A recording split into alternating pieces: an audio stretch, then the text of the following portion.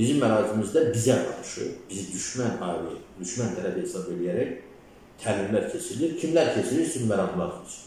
Dəyərli izləyicilər, xoş gördük hər birinizi. Kanal 13-ün efirində Şamo Yemindir. Qonağım isə keçmiş baş nazir Azərbaycan Xalq Partiyasının sədri Pənah Hüseyndir. Pənah bəylə ölkə gündəmini dəyərləndirməyə çalışacağıq. Pənah bəy, xoş gördük sizi. Xoş gəlmisiniz. Təşəkkür edirəm. Pənah bəy, e, dünən e, bildiyimiz kimi Müdafiə naziri Zakir Həsənov sülh məramların nəzarətində olan ərazidə erməni birləşmələrinin təxribatına dərhal cavab e, verilməsi ilə bağlı əmr verdi. Nazirin bu əmrini düzgün hesab edirsinizmi? Ümumiyyətlə, yəni döyüş nizamnamələrinə görə bizim hərbi hissələrin hərbi obyektlərin yaxınlığında törədilən hər hansı bir xüsusən silahdan istifadə ilə törədilən hər hansı bir təxribata Müdafiə Nazirinin əmri olmadan da ə, e, cavab verilməlidir. Bu konkret həmin obyekti mühafizə edən və yaxud o obyektin yerləşdiyi ərazi üçün hərbi sahədə məsuliyyət daşıyan ə, e, silahlı qüvvə, silahlı qulluqçuların bilavasitə nizamnamə borcudur. Lakin indi konkret reallığı nəzərə alaraq və bu atəşkəslə bağlı məlum sənəd 9 noyabr tarixli 2001-ci il tarixli sənədini nəzərə alaraq, ə, e, əlbəttə ki, bu ə, e, nazirin bu əmri həm də diqqətin cəlb olunması son dövrdə bilirsiniz ki, bir xeyli müxtəlif xarakterli, o cümlədən Şuşa ətrafındakı ərazilərimizin azad olunmuş ərazilərimizin atışa tutulması, erməni mövqelərindən halları çoxalmışdı. Hərbi qulluqçuların və ya başqa bir əsasla əsir götürdüyü oradan bir axıncı hadisə Cəmilovla bağlı olan hadisəni qeyd eləmək olar. Halbuki bundan əvvəl ə, e, oxşar tipli hadisələr zamanı dərhal onların qaytarılması üçün sülh məramı adlanan Rusiya silahlı qüvvələrinin oradakı nümayəndələri də əlifdə keçmiş lazım. Bu dəfə elə bir hal biz müşahidə eləmədik, hələ də müşahidə eləmədik. Sonra müxtəlif o Ağdərək istiqamətindəki müəyyən obyektlərdə yeni hərbi mövqelərin qurulması, tutulması və sair halları müşahidə olunur. Bu baxımdan əslində Azərbaycan cəmiyyəti də müxtəlif, ən müxtəlif bu işə aidiyyəti birbaşa səlahiyyəti olan insanlardan, orqanlardan tutmuş, vətəndaşlarımıza qədər çoxdan antiterror əməliyyatının keçirilməsini tələb edirlər və hətta preventiv bəzi tədbirlərin görülməsini tələb edirlər. Söhbət təkcə cavab tədbirlərindən ibarət olmamalıdır. Söhbət həmin o təxribatların özünün hələ baş verməmiş zərərsizləşdirilməsi üçün atılan addımlardan olmalı. Bu təkcə şübhəsiz ki, Müdafiə Nazirliyinin ə, yalnız səlahiyyətində olan məsələ deyil, həm də bu ə, Dövlət Təhlükəsizlik Xidməti, Sərhəd Qoşunları və digər ayrı başqa səlahiyyətli bizim təhlükəsizlik sektoruna daxil olan orqanlar bu sahədə çoxdandır kəsinlər, bu addımları atmalıdırlar və cəmiyyətdə çox ciddi narahatlıq və narazılıq, etiraz doğurur bizim ə, ayrı aidiyyəti orqanlarının həddindən artıq təmkin mümkünatı nümayiş etdirməsi. Nümayiş etdirməsi və ə, bir də ki, burada əsas obyekt, yəni şübhəsiz ki, bu təxribatların təşkilatçıları bilmir, bunun himayədarları olan Rusiya sülhməramları adlanan ə, konkret subyekt var. Və e, mənə elə gəlir ki, bu istənilən halda, istənilən təsir erməni təxribatlarından şu istənilən bu təxribat kim törədə törəsin, onlara qarşı yönəlməlidir. Məsələn, bizim a, Müdafiə Nazirliyinin və digər başqa dövlət orqanlarının, Xarici İşlər Nazirliyinin ə, açıqlamalarında Azərbaycanın da müvəqqəti olaraq Rusiya sülh məramlarının yerləşdiyi ərazi anlayışı işlədir. Əslində 9-10 noyabr tarixli sənəddə belə bir müddəa, belə bir məhkum yoxdur. Orada sadəcə göstərilir ki, Rusiya sülhməramları Laçın dəhlizi boyu və qüvvələrin yerləşdiyi Temas xətti boyu yerləşirlər. Onların ərazidə yerləşməsi və həmin ərazi üçün məsuliyyət və səlahiyyət daşıması haqqında 9-10 noyabr tarixli sənəddə ki, bu sülhməramların belə demək mümkünsə hərəkət o dairəsi orada müəyyənləşibdir. Belə bir müddəa yoxdur. Üstəlik, Rusiya Müdafiə rəsmi saytları da dərc olunmuş rəsmi bültenlərində həmin ərazi Rusiya sülh məramlarının məsuliyyət zonası adlandırılır. Çox təəssüf ki, yəni indiyə qədər rəsmən nə Xarici İşlər Nazirliyi, nə digər başqa orqanlar buna lazım olan reaksiyanı, cavabı, etirazı vermirlər. Niyə vermirlər Fənab bəy? Yəqin ki, əgər e, belə bir söhbət ehtimallar səsləndirilir ki, hansısa şifahi razılaşmalar olub həmin sənəddən əlavə. Lakin şübhəsiz ki, bu diplomatik danışıqlardan, məsələlərdə, bu tipli sənədlərdə məxfi müəyyən razılaşma ola bilər. Amma heç bir halda heç bir dövlət orqanının, heç bir vəzifəli şəxsin Azərbaycanın suverenliyinə aid olan məsələlər barədə konfidensial xarakterli danışıqlar aparmaq və razılaşmalar ə, ə, demək, vermək, razılıqlar vermək səlahiyyəti yoxdur. Burada qutarır o konfidensiallığın sərhəddi. O baxımdan da, yəni e, belə bir Mənə elə gəlir ki, hər halda həddindən artıq Rusiyanın, xüsusən son dövrdə, son aylarda ə, artan, çoxalan ə, provokasiyalar əslində Rusiyadan xeyli dərəcədə gəlir. Bu qeyd elədiyim məsələ bir, ikincisi təlimlər məsələsi. Bundan əvvəl ermənilərin 13-18 yaşlı, əslində daha çox yaşlı adamların orada iştirak etməsi haqqında məlumat var, yığışır, toplanır və məlumat verilir rəsmən ki, bu Maladoy Voyun adlı orada dağlarda necə güya davam getirməli adlı təlim keçirir. Arleonov, nə bilim və başqa o qabaq Sovet dövründə qırmızı üfüq və s. yox, məhz bu Maladoy boyunadır. Yəni erməniləri faktiki olaraq bizə qarşı ə, hazırlayırlar. Bundan əvvəl siz elə bizim müsahibə başlanmamışdan əvvəl qeyd edərdiniz. Bu puaları, düşmən pualarına qarşı təlimlər. Kimdir orada düşmən? Azərbaycan. Bəli, elə sual olunur kimdir düşmən? Bizim ərazimizdə bizə qarşı, bizi düşmən ali, düşmən tərəf hesab edərək təlimlər keçirilir. Kimlər keçirir? Sülh məramlar keçirir.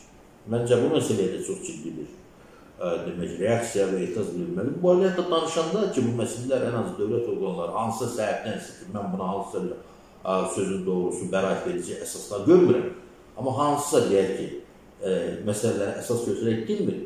İctimaiyyət nümayəndələri, müxalifət və yaxud ayrı-ayrı ekspertlər danışanda bəzi televiziyalar burada sanki Rusiyaya vəkillik edirmiş kimi bu danışanların əleyhinə başlayıb kampaniya üçün danışırlar ki, bu da yol verilməz. O baxımdan da Üzr istəyirəm, Rusiya vəkillik dediniz. Rusiya vəkillik edənlər çoxdur Azərbaycanda. Yox, məsələn mən konkret sizə deyirəm. Mən indi bu televiziya e, e, televiziyaların birində konkret olaraq televiziyanın rəhbərinin bir şərhinə təəccüblə qulaq asdım. Deyir ki, "Güya bilmirsiniz ki, bütün məsələlər qaldı. Bilmirik." Şəxsən mən bilmirəm. Hansı məsələlər qaldırılır. Və ona görə də bilmədiyim və məni narahat edən məsələlər barədə danışmaq, etirazımızı bildirmək bizim haqqımız, hüququmuzdur. Və bu heç də Azərbaycan dövlətinə və ya Azərbaycanın hakimiyyətinə qarşı niyə qəbul olunur, mən anlamıram. Bu axı birbaşa Rusiya və erməni tərəfinə qarşı qoyulan etirazlardır və əslində bizim anlamımıza görə, anlayışımıza görə bu dövlətin də bir növ manevr imkanlarını, bu məsələni qaldırmaq imkanlarını müvafiq yerlərdə əlavə bir dəs, e, sübut dəlil verir, əsas verir. E, o baxımdan da, yəni çox ciddi bu qeyd etdiyimiz məsələlər, bu e, xarakterli məsələlər o baxımdan Müdafiə Nazirliyinin hər halda belə bir xəbərdarlıq xarakterli, belə deyək ki, belə bir açıqlaması müəyyən qədər hansısa tədbirlər görüləcəyinə müəyyən gözlənti yaradır, mən ümid sözünü işlədirəm. Baxaq görək və şübhəsiz ki, bu bunlar olunmalıdır, çünki faktiki olaraq həmin ərazinin yenə də Azərbaycanın de facto heç bir aidiyyəti olmayan, Azərbaycanın suverenliyinə heç bir aidiyyəti olmayan bir ərazilər üçün həm Rusiya tərəfindən, Xarici İşlər Nazirinin məlum o Beynəlxalq Müstəq Təşkilatı ilə görüşdə onları dəvət eləməsi yəqin ki, yadındadır. Hələ də ona reaksiya falan bilinmədi. Rəsmi reaksiya olmadı.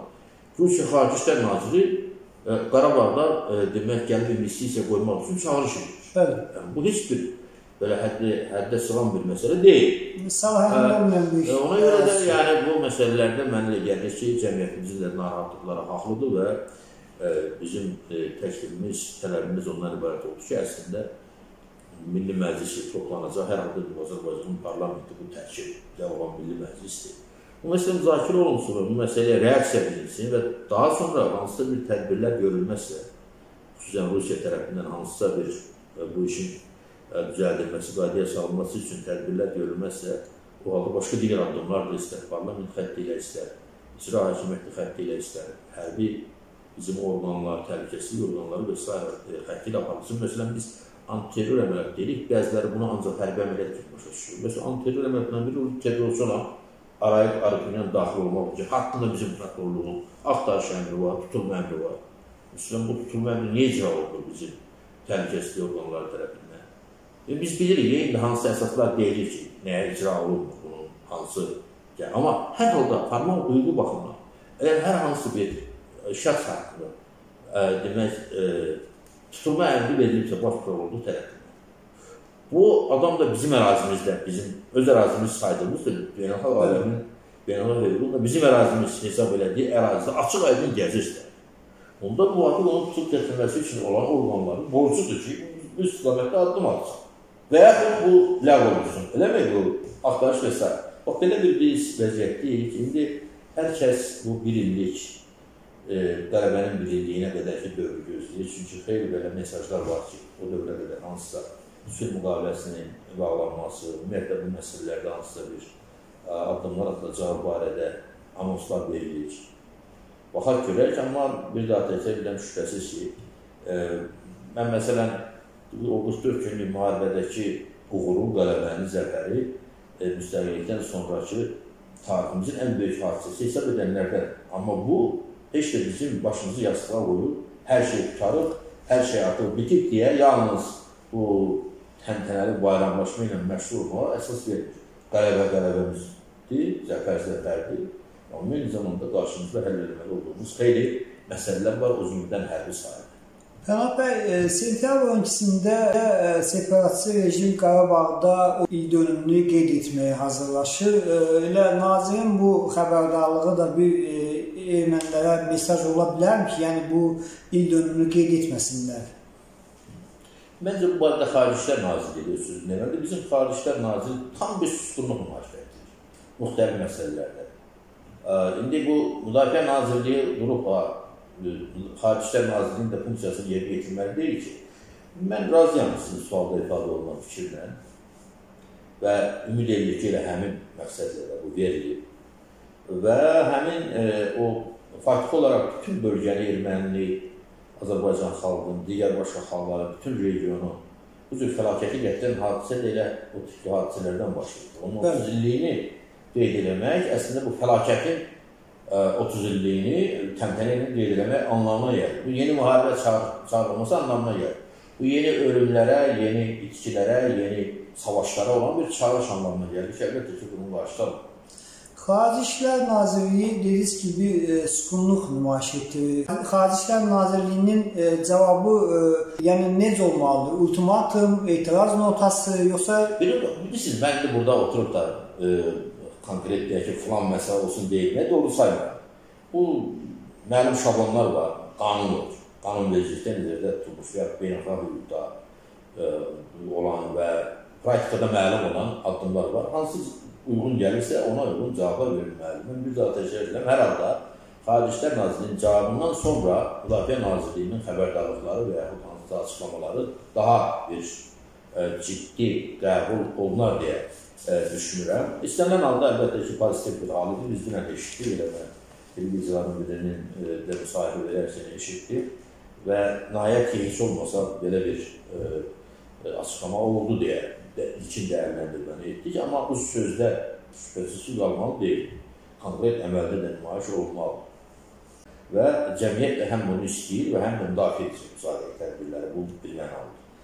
İstər müxalifət olsun, istər hətta siyasətlə məşğul olmayan hissi olsun, Azərbaycan cəmiyyəti bütöv bir halda e, bu məsələnin həll olunması istiqamətində və onların cavabının, o adekvat cavab, əgər həqiqətən söz papos deyilsə, onu tam şəkildə müdafiə etməyə hazır bir vəziyyətdə.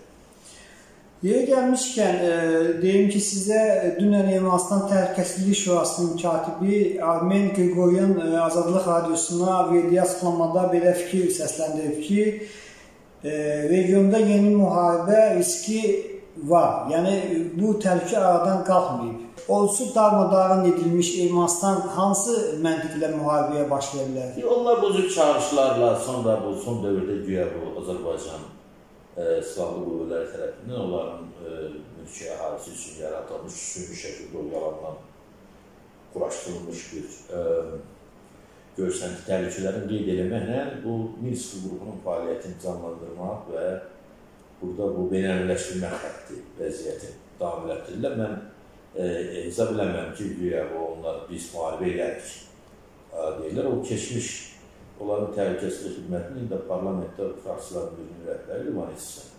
Məsələn, onun dünən e, açıqlaması oldu ki, o dedi ki, mən sülh istəyirəm, biz müharibə istəmirik və s. Yəni, prinsip etibarilə onlar bizim üzərimizə, Azərbaycan tərəfinin üzərinə belə bir e, onun müttəfiqlərinin Türkiyənin üzərinə belə bir təhlükə mənbəyi yarlığını qoymaq istəyirlər və fürsətdən də istifadə edib Minsk qrupunu fəallaşdırmaq və yaxud Rusiyanın buna əlavə bir xüsusi bir ə, demək ə, müdaxiləsi üçün əlavə əsaslar yaratmaq və s. kimi hakir sallar. O da həmin ə, demək qəbildən olan növbəti açıqlamaların biridir. Yoxsa məsələn deyək ki, bax bu hal-hazırda bu Ermənistanda birdən-birə bunlar bir son barı məsələsini ortalığa atıblar. Halbuki Həmin əgər söhbət Xankəndinin yaşayan ermənilərin Suriya təchizatından gedirsə, o halda orada kifayət qədər alternativ yollar orijinal siyasətin üsulundan istifadə etməklə də mümkündür. Ola bilər xərc məsələləri və s. var, amma hər halda bu daha tez, daha təminatlı ola bilər. Bütün bu o provokasiyaların məqsədi bir daha təkrar edilən, burada bir tərəfdən onlar öz əhaliləri içərisində bizim o mətbuatda gedib müəyyən təhlillərdə ki, əhaliyə ümid vermək istəyirlər ki, biz burada iş gördük, bahala beydər tikilib və s. Deməli, hələ heç də hər şey itilməyib, dırnaq arası onların dediyi artsa yaşayıb və s. Digər tərəfdən isə əlbəttə ki, bu da özü də bir əslində fitnəkarlıqdır ki, dünyanın diqqətini, Rusiyanın diqqətini təsadüf deyil ki, Rusiya gedib orada bir dənə dərə qazıblar, dərəni güya mühafizə edirlər. Kimdən mühafizə edirlər, məlum deyil. Güya dəriyə Azərbaycan tərəfi hücum edir. O baxımdan da məncə bizim burada bilsən, əslində qarşı tərəf və əsas əhəmiyyətli ə, e, olan hərəkətləri eləyən tərəf Rusiyadır.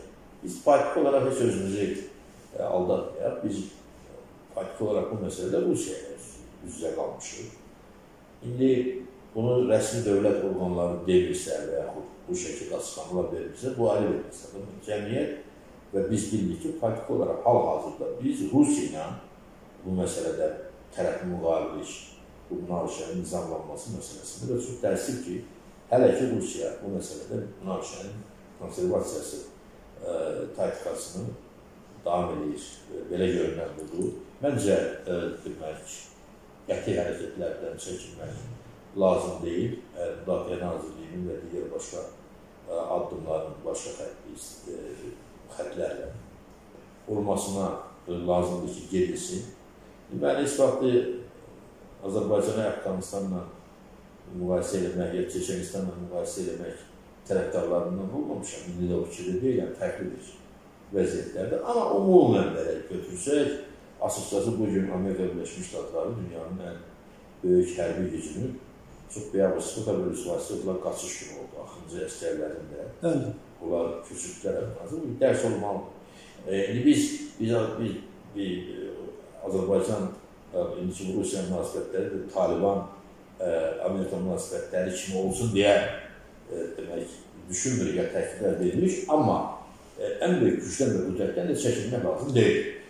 Yəni ağıllı, ağıllı, təmkinli düşünülmüş, eyni zamanda qorxaq olmayan, təslimçi olmayan bir siyasət Amma özü istəyən Pənah bəy, e, bəzi siyasətçilər e, Rusiya ilə münasibətdə e, daha mülayim siyasət yürütməyin tərəfdardırlar ki, biz onları mülayim olaraq onları vaxtı çatanda sülhlərimləri hörmətlə yola salarıq. Mülayim bilirsiniz, məncə bundan artıq artıq biz mülayimlikdən də ötə keçmişik. Artıq bundan artıq mümkün deyil. Deyilir ki, yəni bu müəyyən informasiyalar olur hər halda müzakirələrdə deyilir ki, yaxın üç şərqə hər halda bu vəziyyətin ə, Azərbaycanın daha doğrusu sülhün xeyrinə dəyişdirəcək hansısa addımlar olacaq. Ona görə bu qədər o siz dediyiniz mülayimlik, çəkingənlik, ehtiyatlılıq, təmkin deməyə də mənim dilim gəlir, amma təmkin ona görə müvafiqətdirilir. Gözləyək görək yaxın bir ay, iki ay e, müharibənin qurtarmasının bir illiyinə qədər yəni 9-10 noyabr tarixli sənəd yenisi ilə əvəz olunmalı deyilib və bu da uzun müddətli və həqiqətən real bir sülhün əsasını qoyacaq. İndi Ermənistan tərəfindən də müəyyən fikirlər səslənir, bizim tərəfdən də fikirlər səslənir. Məncə hər halda həmin sülh müqaviləsində ərazi bütövlüyünün tanınması qarşılıqlı şəkildə bir xeyli dərəcədə bu Ağsaq və Qarabağ məsələsində təsir edir. Fərhad bəy, e, başqa bir məsələyə diqqət etmənizi istərdim. E, bildiyimiz kimi e, bu koronavirus bəlası bütün dünyanı, eləcə də ölkəmizi xeyli dərəcədə narahat edir.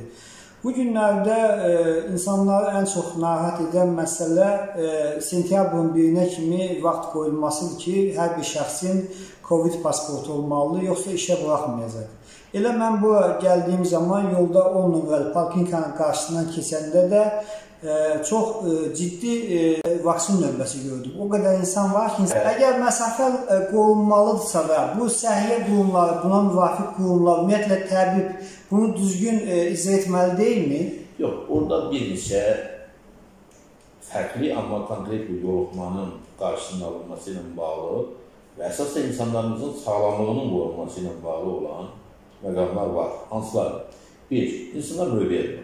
Və növbədə onun konkret olaraq göstərilir ki, məsələn, ayın 6 yanvarda, mən 6 yanvar sözünü təsəvvürən işlədirəm, mənim ailə üzvlərimdən biri işləyir və 6 yanvarda növbəyə duranda 6 yanvar verilir. İndi bilirsiniz ki, canlı növbələr yoxdur. 6 yanvar deyil, düz istəyirəm, 6 sentyabr. Bəli. İndi bu sentyabra qədər təbii ki, bunun o elan olunmalıdır ki, növbədə durubsa və o növbə gününə qədər ən azı demək, bu müəyyən məhvli qadağalar ki var, e, onlar həmin şəxslərə tətbiq olunmamalıdır. Belə deyək də, bir növ həmin o növbə e, sıralanma ki, rəsmən məlumdur, sənəd verilir və var portalda, bu əsas götürülməlidir. Eləsi var 15-in 16-sından növbəyə yazıla bilir. E, bu işin bir tərəfidir. Məncə elə bu gün belə bir məlumat verirlər. İkincisi uzadıla bilər. Həqiqətən də insanlar hər halda küll halda böyük bir e, hissəsi peyvənd olunmaq istəyir. Etiraz edən də mən hər halda hansısa bir toplanma, etiraz aksiyası və s. görmürəm işlərini. Bəzi ölkələrdə Çox keçirilir. Bizdə hər halda yoxdur. İnsanlar istəyir, sadəcə olaraq fiziki cəhətdən mümkün deyil bu qədər insanın. Nə çatdırma olmur. Elə bir qədər də məncə elə bu gün qərar verilməlidir, müəyyən müddət uzadılmalıdır. İstər növbəyə durmaq üçün və s. Bu iki. Üçüncüsü, burada başqa bir insanların təkrar edilən sağlamlığı ilə bağlı məqamlar var. Bir çox insanlar iddia edir ki, və statistika da bunu göstərir və bu e, COVID-19 haqqındakı bilgilər də verir ki, bir çoxları bu simptomsuz keçirir, ki, özü bilmir ki, belə bir xəstəlik keçirir və onda müəyyən antiteylər yaranır.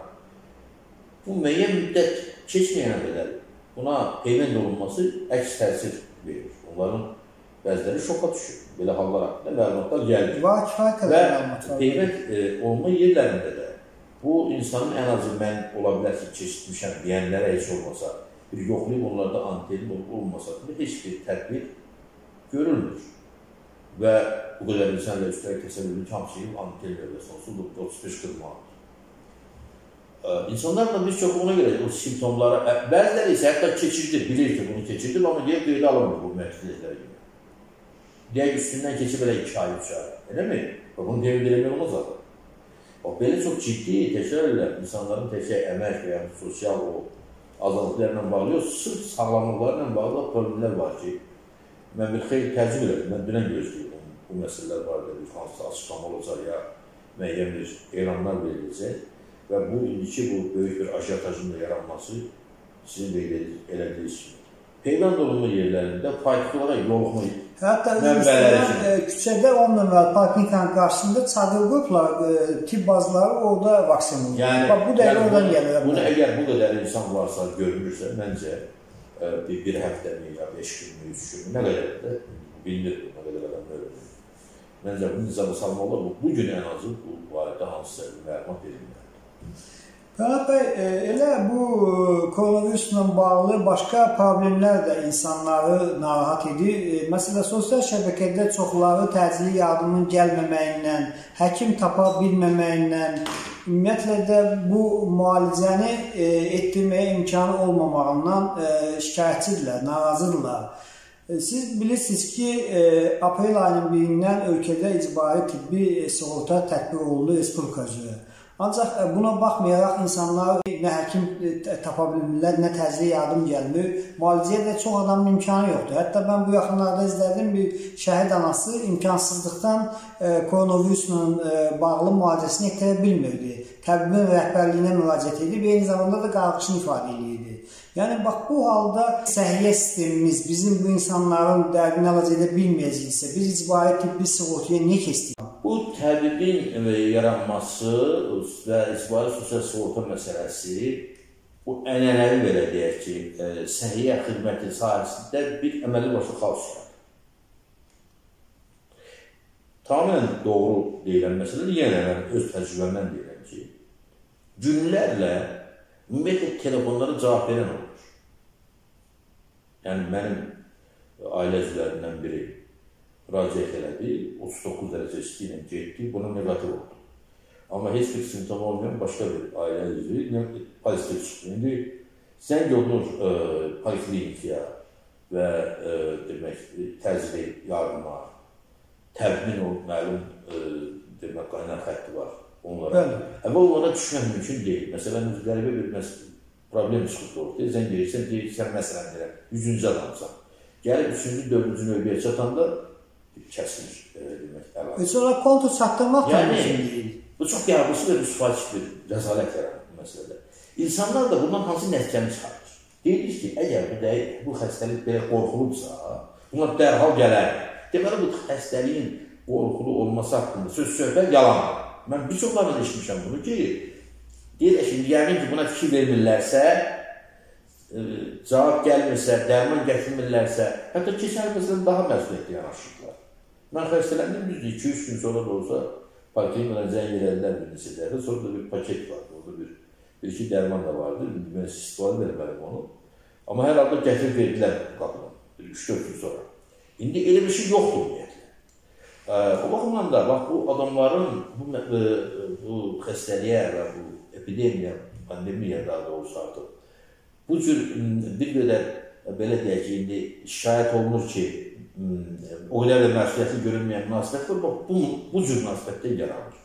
E, açıqçası, yəni, heç burada gizli bir məsələ də deyil və hamı da işarə edib korrupsiya məsələsinə ki, Bəli, saxta COVID pasportu məsələsi gündəmdə. Yox, bir, təkcə bu saxta COVID pasportu məsələsi bir xeyli aradan çıxarılıbdır, götürülübdür. Bu e, yoluxmada ki, artım oldu, adamların canına qədər isti keçdiyi deyəcək təhlükəlidir.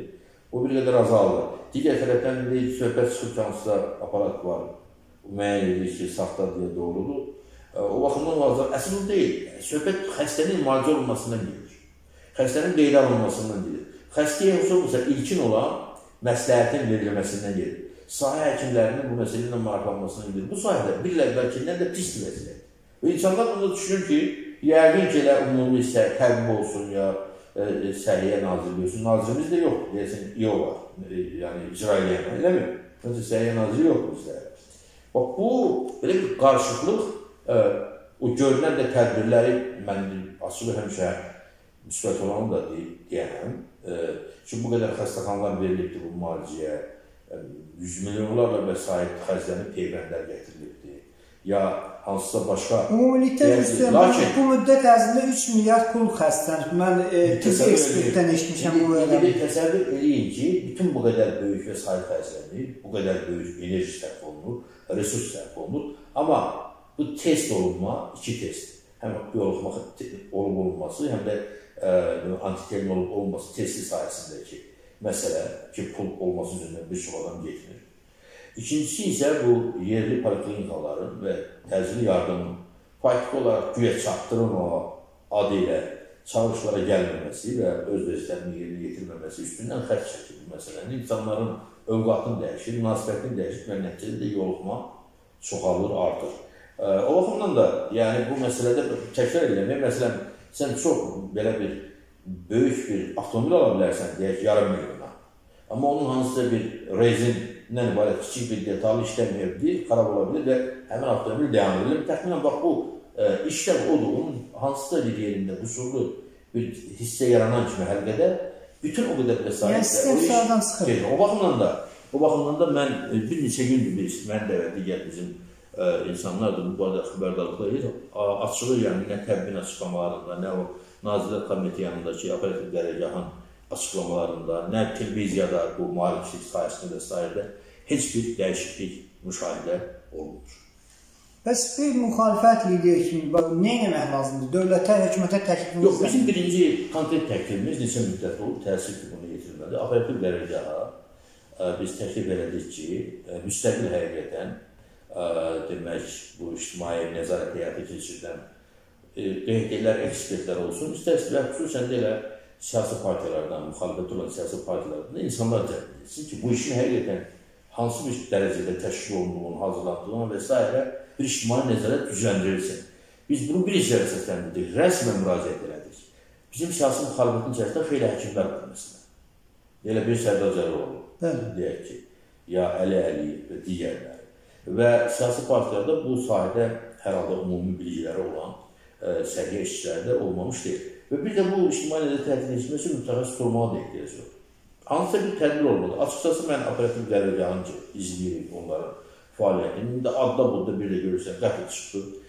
Bəziləri heç hardan götürülməsi məlum olmayan qaydaları tətbiq elədi, sonra da yoxa çıxdılar. İndi mənim özümün məsələn başıma belə bir iş gəldi. Mən ayın bu ayın 16-sında peyvənd olundum bu yeni klinikdə.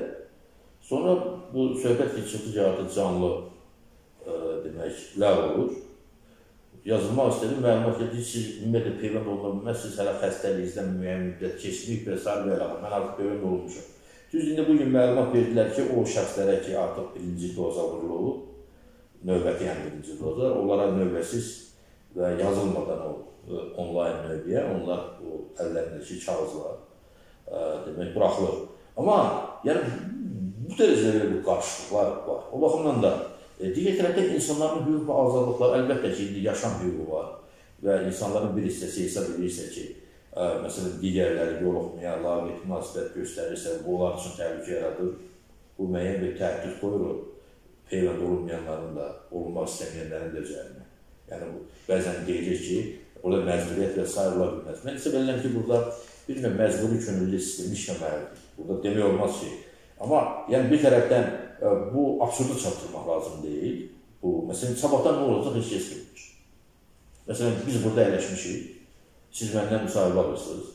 Deyək ki, indi polisə tapşırıq da bunun ə, demək, nəzarəti. Polis gəlir içəri, sizdən ya məndən COVID pasportu tələb edir. Nə olacaq onda? Yəni, ə, bizə ola bilirsin ki, amma biz bilirik ya bu sonda nə ilə nəticələrini necə qutarır, hansı korrupsiya, yaranır. Mən e, çox e, birisi nədən narahatam? İndi inşallah Allah... Yəni belə başa düşdüm ki, fikrinizdən bu da korrupsiya yol açacaq bir yaradacaq sizə. Mənim narahatlığım həm də odur ki, bu epidemiya, pandemiya indi qurtaracaq inşallah. Ya eləsinə, ya beləsinə insaniyyət bunun öhdəsindən gələcək, Allah da kömək edəcək. Amma elə bir bu vaxta qədər ənənəvi olmayan korrupsiya ə, e, halları yaranır ki, Bu, bu virus qutaracaq, bitəcək, o korrupsiyanı bitirmək çox çətin olacaq. Məsələn, yas yerlərindən e, rüşvət alınması məsələsi biz heç bunu yatıb yuxumuza girməzdi də. İnsanlara İndi müsaad alma, əvvəlcədən sən yaz məclisi keçirmək istəyirsənsə, qadalandır. İndi hamı da deyək, bunu keçirmək istəyir. Gedir və e, demək, hansısa bir məbləğdə ödəyir və məclisini də keçirilir. Yas məclisindən hətta bir korrupsiya. İndi bilirsiniz, Bu, bunu mənimsəyənlər üçün bir büdcələri var, ailə xərcləri var, qızını köçürdəcək, nə bilim, oğlunu evləndirəcək və s. Birdən-birə bu kəsiləndə o əl çəkməyəcək. İndi başqa əsaslar tapıb gəlir. Elə toy məclisləri, elə restoranlar. Yəni, mən sizə deyim, bu virus qutaracaq, amma o pandemiya dövründə yaranmış bu korrupsiya məsələlərini aradan qaldırmaq bəlkə bundan çox çətin olacaq. O halda yəni üzərində düşünüləsi bir çox məsələlər e, demək var və e, yəni hər halda mənim e, hesab edirəm indi bütövlükdə hamının üzərinə məsuliyyətdən danışılır. Bir nömrəli məsələ əlbəttə ki, dövlət orqanlarının vəzifəsidir, nəzarətçi orqanların vəzifəsidir. Bizdən də bu sahədə hansısa bir imkanımızda olan köməklik istənilirsə və ya istənilərsə, mən hər halda Azərbaycanda bundan imtina edən hansısa bir siyasi partiya və yaxud siyasətçi və yaxud ictimai fəal, yəni tanımıram sözüm doğrusu, bir-iki nəfəri istisna eləməklə hamı əksinə bu məsələnin tez bitməsi üçün əlindən gələni ən azı təbliğat aparmağa qədər e, çalışır. Belə yəni çox ciddi bir problemdir və son nəticədə yəni bu əslində bunun da kökü hara gedib çıxır? O bizim ümumi e, problemlərə gedib çıxır nəticə etibarilə. Yəni mən ümumiyyətlə hər şey biz sonunda bəzən deyirik ki, azad ədalət demokratik seçki keçirilsə, o da bir indi elə bir hala gəlib ki, nə deyirsən axırı gedib ə, seçkiyə, mən şərti olaraq seçki sözləşlərdən biri. Çünki həqiqətən amma cəmiyyətimizin ümumi problemlərindən, özümüzün siyasi problemlərindən bağlı olan məsələlər var ki, insan hüquq və azadlıqlarına əməl olunması sahəsində problem varsa, özüm bu şeyləri mütləq göstərəcək, göstərəcəkdir ki, göstərir. Çox sağ olun Pənah bəy, təşəkkür edirəm.